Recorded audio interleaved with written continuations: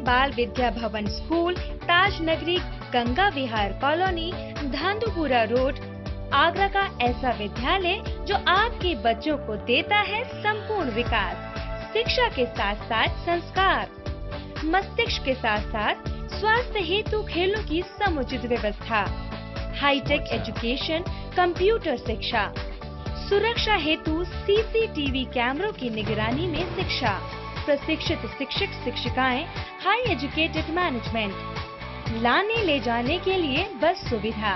प्रवेश प्रारंभ, बच्चों के उज्जवल भविष्य के लिए संपर्क करें।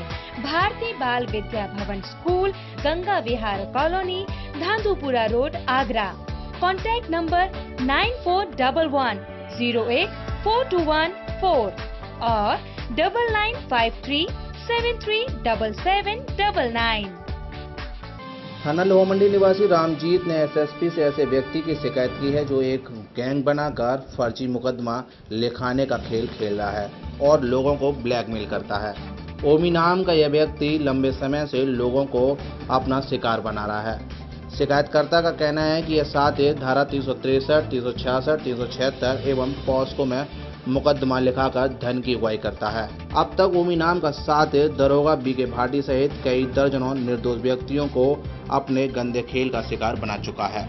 सर जी, सन उन्नीस से ओमी उर्फ़ ओम प्रकाश नाम का एक सर व्यक्ति यानी गिरोह चलाता है, सर।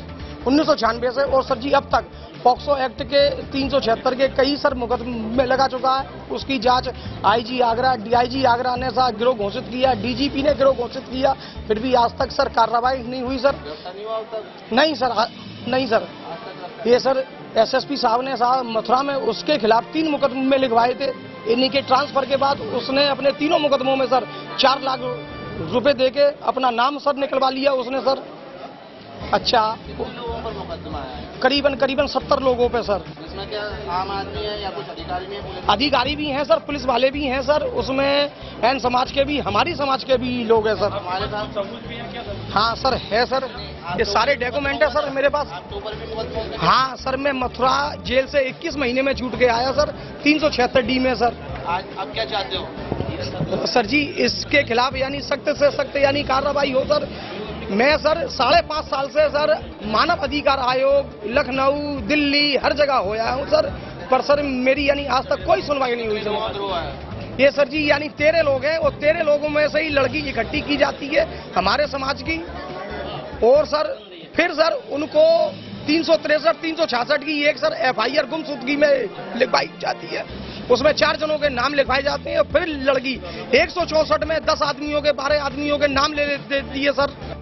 थाना लोहा मंडी निवासी ओमी के खिलाफ शिकायतकर्ता पीड़ित रामजीत का कहना है कि उन्नीस सौ छियानवे से लोगों को संगीन धाराओं में फंसाने का खेल खेला जा रहा है और पुलिस इस सातिर को अभी तक जेल नहीं भेज पाई है।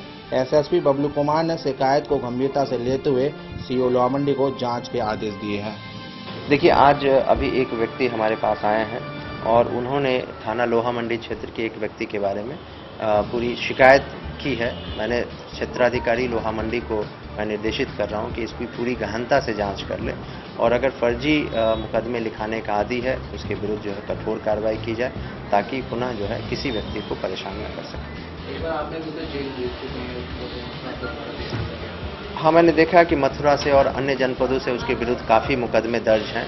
तो इसकी पूरी गहनता से जाँच करते हुए कि क्या इसका मॉडस ऑपरेंडी है, कैसे कार्य कर रहे हैं, ताकि जो है इन पे प्रभावी कार्रवाई हो सके और इसकी जो गलत गतिविधियाँ उसको रोकी जा सके। सातिर ओमी ने शिकायत कर लोगों को ठगना और झूठे मुकदमे लगाकर लोगों को फंसाना अपना धंधा बना लिया है। अब देखना ये होगा कि पुलिस ऐसे सातिर को कब तक पकड़ पाती है। सेवन इंडिया न्यूज़ के लिए कैमरा पर्सन भगवान सिंह के साथ गीतम सिंह की रिपोर्ट।